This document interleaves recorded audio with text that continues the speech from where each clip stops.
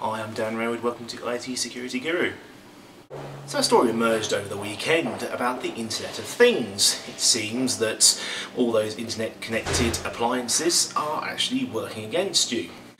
The research came from a company called Proofpoint. Uh, they found that around 750,000 spam messages were sent out uh, by a particular botnet.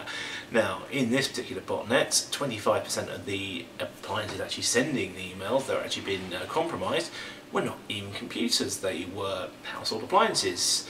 Now, in some cases, these were routers, which are, I suppose, pretty standard. They're, sometimes they're unsecured, as some previous researchers found out. But also in other cases there were multimedia centres, televisions and apparently even a refrigerator. So you know, your, your, refrigerator in this case was taken was compromised somewhat because it was internet connected and uh, it was used as a point in which to send a spam message out. Um, spam obviously was kept in the cupboard in the previous time, but you know spam coming from your fridge it's a slightly unusual story.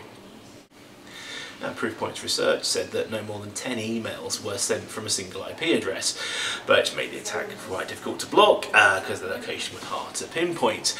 Uh, also, the devices had not been subjected to an actual compromise, uh, so they were just misconfigured, but the problem is, is the Internet of Thing devices are often are left unsecure because the fact is they are just simply things around the house. You know, you've connected it to your home Wi-Fi for benefit of updates, such as a television. You know, you want to do streaming of uh, films or TV shows, so it's it's connected to the internet. But what if that power was utilised by a botnet to send spam messages? You'd probably be quite terrified, wouldn't you?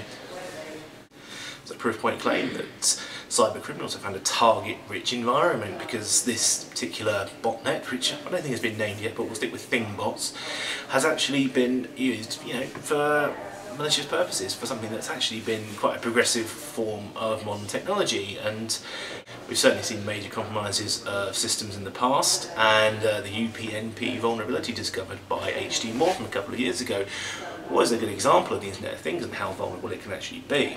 Now, could the next stage be antivirus for your fridge? Um, I doubt it, personally. I think it's uh, we're not that far along, but what we've got to realise is the vulnerable networks in the home connected to possibly a misconfigured device or an unsecure device. And, uh, well, for the ThingBot botnet, it's certainly a starting point. So make sure you update all of your systems, whether they be PCs, fridges, televisions, or routers. Who knows? For IT Security Guru, I'm Dan